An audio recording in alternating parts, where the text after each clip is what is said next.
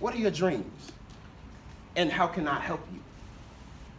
And you should only ask that question if you do not expect reciprocation.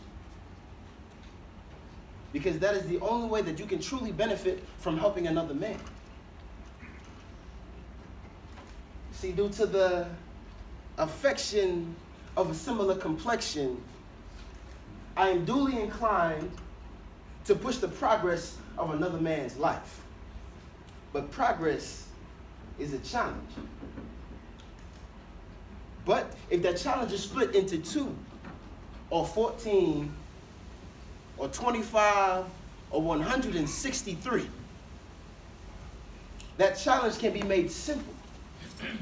That challenge of life can be made simple. Life can be made simple. Uh,